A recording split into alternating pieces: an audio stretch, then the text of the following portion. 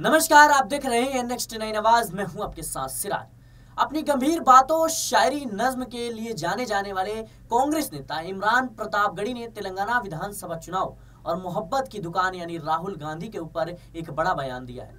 बता दें कि तेलंगाना विधानसभा चुनाव को लेकर जिस तरीके से इमरान प्रतापगढ़ी ने दावे किए हैं, पहले आप वो वीडियो देखिए, उसके बाद जो है हम इस पर चर्चा करते हैं। आइडियोलॉजी के खिलाफ अगर ईमानदारी से कोई एक नेता लड़ रहा है उस नेता का नाम राहुल गांधी है और वो पुरजोर तरीके से लड़ रहा है। वो तकरीरें नहीं कर रहा है वो ग्राउंड पे उतर रहा है नफरत कम करने के लिए अपने पैर के छालों की परवाह किए बगैर पूरा मुल्क नाप रहा है।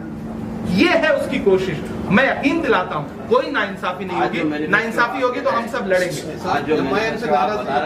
वक्त आने पे क्या फिर से लगा मैं एकदम क्लियर आपसे ये बात कह रहा हूँ।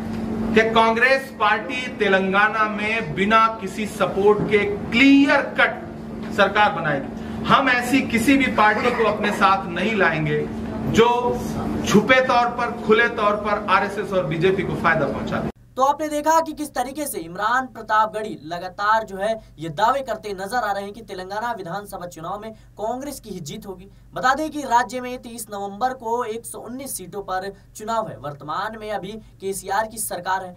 ऐसे में कांग्रेस लगातार ये दावे करते नज़र आ रही है कि के, जो केसीआर को इस बार हराएँगे बीजेपी को हराएँगे और तेलंगाना में अपनी जो है यानी कांग्रेस की सरकार बनाएँगे। साथ ही उन्होंने राहुल गांधी पर भी बड़ा बयान दिया। बता दें कि राहुल गांधी की जो नफरत को नीचे गिराने वाली और मोहब्बत को बढ़ाने वाली जो नफरत कम करने वाली और खास तौर पे जो है मोहब्बत की दुकान पे एक बड़ा बयान दिया। जिस तरीके से उन्होंने कहा कि राहुल गांधी एक अच्छे नेता है और वो लगातार देश में प्यार, मोहब्बत बांट रहे हैं। ऐसे में जो है बीजेपी की लगातार धड़कने बढ़ रही है क्योंकि राहुल गांधी की जो छवि, लगातार बीजेपी ने धूमिल करने की कोशिश की। अब जो है उनका भारत जोड़ो खासतौर पे भारत जोड़ो यात्रा के बाद उनकी जो छवि है, उसमें लगातार सुधार देखने को मिल रहा है। बता दें कि उन्होंने साथ ही कहा कि वो किसी भी ऐसे संगठन से जो है गठबंधन नहीं करेगी, जो आरएसएस और बजरंग दल जैसे संगठन को जो है बढ़ावा देते हो। तो ऐसे में साफ़ तौर पे देखा जा रहा है कि राज्य में जो है अब आने वाले 30 नवंबर को 119 सीटों पर विधानसभा चुनाव है।